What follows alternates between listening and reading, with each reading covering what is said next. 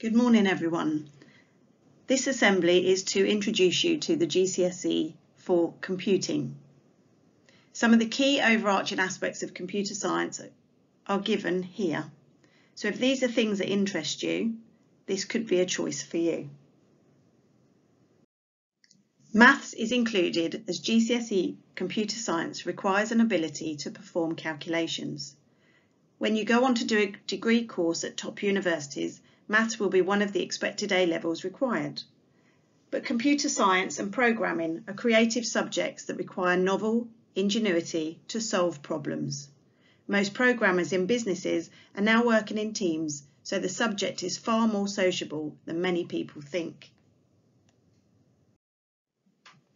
The CPU is the brain of any computer, and the design of this is a highly specialised area of computer science and electronic engineering. Although most people have heard of Intel, ARM is one of the major players in chip design and it's based here in the UK. With more and more devices in the Internet of Things, this demand will only grow. You may have heard of the Raspberry Pi, which also uses an ARM processor. You've probably all seen or heard of drones. At the moment, they're a popular toy, but they have many other uses. Companies like Amazon are currently looking at ways of using drones to make sure our deliveries come to our house quicker.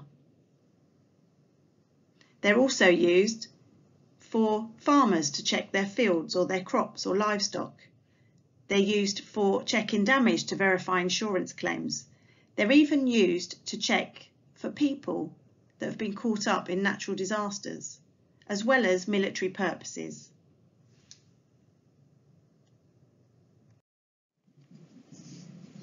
Robotics are becoming increasingly prevalent in our lives. Today they're cleaning our homes, cutting our lawns. We use them for car assembly, sometimes clearing mines in a war zone to save human life. But in the future they may well be used in nursing homes to assist with care as well as analysing data. To make a robot you need to have a good understanding of how computers work and how to program them. We all use the World Wide Web, and although it's three decades old, its growth is still expected to be phenomenal in the future. Computer science students are needed to be able to think up initiative ideas and compete with the largest companies in the world. The way we use technology, and since the web was invented, has really been a game changer for e-commerce. Online shopping was worth 1 trillion in 2014 it's already grown to 4.2 trillion in 2021, and this is just going to keep growing. If you want to know how it works, this could be a subject for you. Some of you might have been introduced to augmented reality when you were walking around trying to find a Pokemon.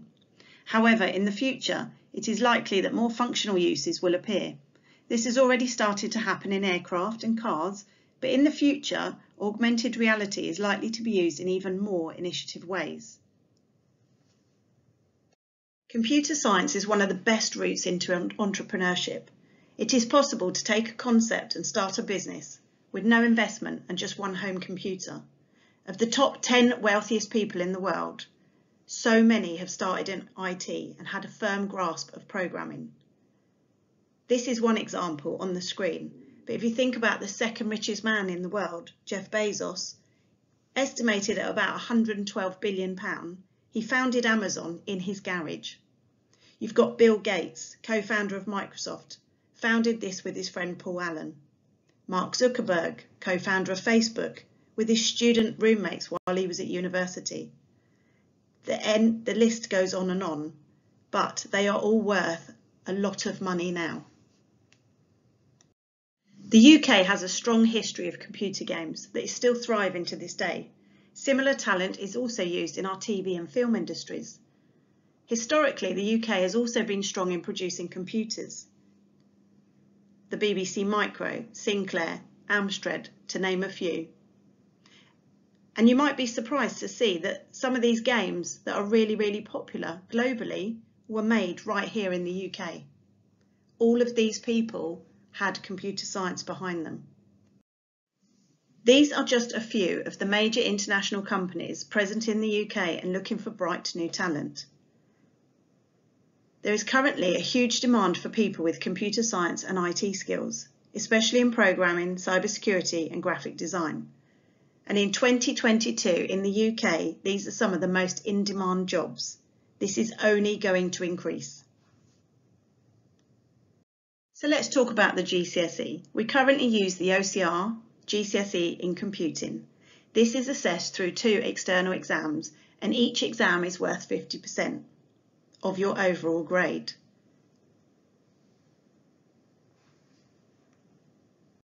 This GCSE will equip you with a range of transferable practical and theoretical skills. Programming in a modern language, we currently use Python, but there are many opportunities to learn other languages. It gives you an understanding of how computers and networks work and of basic knowledge of cybersecurity and how hackers attack systems. There are fantastic opportunities for those who wish to study and excel in computer science. Everybody today is a consumer of products that use these skills, but it takes somebody special to have the joy of producing the products these people use. So how do you feel about joining computer science at GCSE? Will you make the next big app, perhaps? Or perhaps you'll get a career in one of these. But remember, as technology is forever changing, so are job roles, and the career that you end up with might not even have been made yet. What you have to remember is the GCSE computer science isn't just about programming. It's having an awareness of how computers work. But even more importantly than that, it gives you the skills for problem solving, which you might not end up in a career in this field, but these are skills that you will need in every future career. So the world needs you to help develop the future. By taking this GCSE, it will help you. If you have any other questions, you can always come and see me in B3 or email me, Miss Kiss, and I am happy to have a conversation with you or to answer any questions you have. Hopefully, I'll see you next year.